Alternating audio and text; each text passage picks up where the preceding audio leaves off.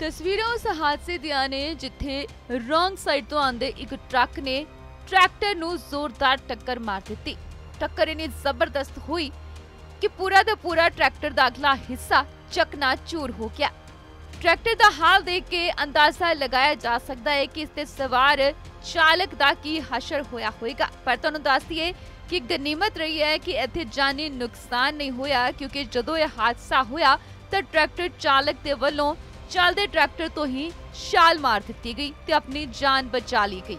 ਉਧਰ ਟਰੱਕ ਚਾਲਕ ਨੂੰ ਵੀ ਜ਼ਿਆਦਾ ਸੱਟਾਂ ਨਹੀਂ ਲੱਗੀਆਂ ਨੇ। ਪਰ ਇੱਥੇ ਹਾਦਸਾ ਇੰਨਾ ਜ਼ਬਰਦਸਤ ਸੀ ਕਿ ਕੁਝ ਵੀ ਵੱਡਾ ਨੁਕਸਾਨ ਹੋ ਸਕਦਾ ਸੀ। ਹਾਲਾਂਕਿ ਇੱਥੇ ਟਰੈਕਟਰ ਬੁਰੀ ਤਰ੍ਹਾਂ ਨੁਕਸਾਨਿਆ ਗਿਆ ਹੈ। ਅਗਲਾ ਹਿੱਸਾ ਪੂਰੀ ਤਰ੍ਹਾਂ ਦੇ ਨਾਲ ਚਕਨਾਚੂਰ ਹੋ ਗਿਆ ਹੈ, ਜਿਸ ਨੂੰ ਲੈ ਕੇ ਹੁਣ ਟਰੈਕਟਰ ਚਾਲਕ ਇਨਸਾਫ ਦੀ ਮੰਗ ਕਰ ਰਿਹਾ ਹੈ। ਹਾਦਸਾ ਸੁਲਤਾਨਪੁਰ ਲੋਧੀ ਦੇ ਬੇਬੇ ਨਾਨਕੀ ਚੌਂਕ 'ਚ ਵਾਪਰਿਆ ਹੈ।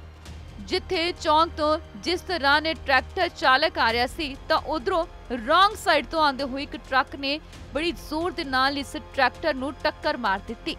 ਟਰੈਕਟਰ ਚਾਲਕ ਨੇ ਤੁਰੰਤ ਟਰੈਕਟਰ ਤੋਂ ਛਾਲ ਮਾਰ ਦਿੱਤੀ ਤੇ ਆਪਣੀ ਜਾਨ ਬਚਾ ਲਈ, ਵਰਨਾ ਉਸ ਦਾ ਵੀ ਹਸ਼ਰ ਬੁਰਾ ਹੋਣਾ ਸੀ। ਦੇਖਣ ਵਾਲਿਆਂ ਦੀ ਵੀ ਰੂਹ ਤੱਕ ਕੰਮ ਗਈ, ਜਿਸ ਕਦਰ ਇਹ ਜ਼ੋਰਦਾਰ ਟੱਕਰ ਹੋਈ ਸੀ।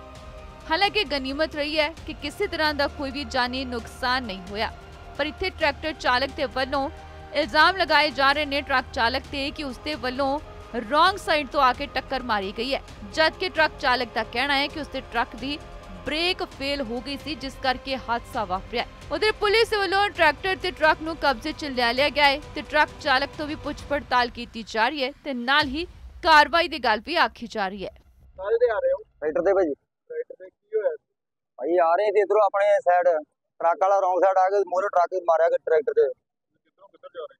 ਆਪਾਂ ਭਾਈ ਜਾ ਰਹੇ ਆ ਦੋਈਆਂ ਤੋਂ ਆਏ ਆ ਜਾਣਾ ਬੁਟਰਾ ਬੁਟਰਾ ਮਿਲ ਸਿਕੰਦਰ ਭਾਈ। ਹਾਂਜੀ। ਨੁਕਸਾਨ ਭਾਜੀ ਟਰੈਕਟਰ ਸਾਰਾ ਇਕੱਠਾ ਹੋ ਗਿਆ ਵਾ। ਟਰੱਕ 1% ਵੀ ਆ ਕੰਮ ਦਾ ਟਰੱਕ ਵਾਲੇ ਦਾ ਜਾ ਹਾਂਜੀ ਹਾਂਜੀ। ਤੁਹਾਡਾ ਕਿੰਨਾ ਨੁਕਸਾਨ ਹੋਇਆ? ਭਾਜੀ 1% ਨਹੀਂ ਆ ਕੋਈ ਚੀਜ਼ ਜਿਹੀ ਰਹੀ ਹੈ ਟਰੈਕਟਰ ਹੋਇਆ ਤੁਹਾਡੇ ਦਾ?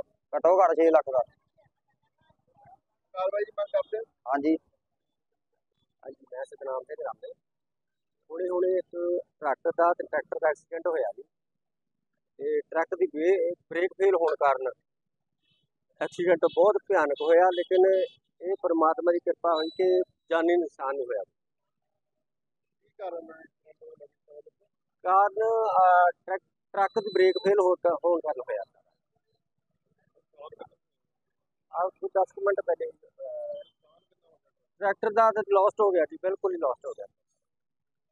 ਬਿਲਕੁਲ ਖਤਮ। ਕੀ ਤੁਹਾਡਾ ਨਾਮ ਹੈ ਕਿੱਥੇ ਹੈ? ਅਸੀਂ ਤੇ ਗੋਂਦਾ ਸਾਹਿਬ ਦਾ ਪਿੰਡ ਆਪਣਾ ਤੇ ਅੱਜ ਤੇ ਬੀਬੀ ਨਾਨਕੀ ਸੇਵਾ ਕਰਦੇ ਹਾਂ। ਇਹ ਅਸੀਂ ਉੱਥੇ ਆਪਣੀ ਬਾਹਰੋਂ ਗੱਡੀ ਆਉਂਦੇ ਸੀ ਗ੍ਰਹਿ ਵਾਲੀ। ਅਸੀਂ ਉਹਨੂੰ ਵੇਖਣ ਦੇ ਹਾਂ ਤੇ ਉਹ ਆਉਂਦਿਆਂ ਸਾਰੇ ਸਿੱਧੀ ਸਿੱਧੀ ਗੱਡੀ ਆਈ ਹੈ ਤੇ ਸਿੱਧੀ ਵਿੱਚ ਵੱਜ ਗਈ ਹੈ ਤੇ ਮੁੰਡੇ ਨੇ ਦੌਦਾ ਛਾਲ ਮਾਰਤੀ ਹੈ ਆਹੋ ਤੇ ਟਰੱਕ ਜਿਹੜਾ ਹੈ, ਟਰੱਕ ਦੀ ਬ੍ਰੇਕ ਫੇਲ ਫੇਲ ਹੋ ਗਈ ਹੈ। ਨਾ ਫੇਲ ਹੁੰਦੀ ਫੇ ਭਾਵੇਂ ਬਚਾ ਹੋ ਜਾਂਦਾ। ਇਹ ਸੱਟ ਫਿਰ ਤੋਂ ਬਚਾਈ ਹੈ ਹਾਂ। 60 ਫੁੱਟ ਤੋਂ ਬਚਾ ਜੀ। ਹਾਂਜੀ। ਮੌਕੇ ਤੇ ਬਹੁਤ ਪਹੁੰਚੀ ਹੈ। ਪਹੁੰਚੀ ਹੈ। ਸਾਧਨ ਪਰੇ ਕਰਾਉਂਦੇ ਹਾਂ ਸਾਧਨ ਪਰੇ ਕਰਾਤਾ ਜੀ। ਉਹ ਟਰੱਕ ਸਾਈਡ ਤੇ ਲਾਤਾ ਜੀ। ਟਰਾਲੀ ਅੱਗੇ ਖੜੀ ਹੈ। ਹਾਂਜੀ ਹਾਂਜੀ। ਕੀ ਜਾਵਾ ਕਿਹਦਾ ਐਕਸੀਡੈਂਟ ਹੋਇਆ ਵਾ? ਭਾਜੀ ਮੇਰਾ ਨਾਂ ਹਰਜਿੰਦਰ ਸਿੰਘ। ਆ ਕਿੱਥੋਂ ਕੈਨ ਜਾ ਰਹੀ ਅਸੀਂ ਅੰਮ੍ਰਿਤਸਰੋਂ ਆਏ ਆ ਕਿੱਧਰ ਨੂੰ ਜਾ ਰਹੀ ਅਸੀਂ ਨਕੋਦਰ ਮੈਲਪੁਰ ਨੂੰ ਜਾਣਾ ਹੈ। ਮੈਲਬੌਰਨ ਕਿਵੇਂ ਐਕਸੀਡੈਂਟ ਹੋਇਆ ਜਿਹੜਾ? ਬ੍ਰੇਕ ਫੇਲ ਹੋ ਗਈ।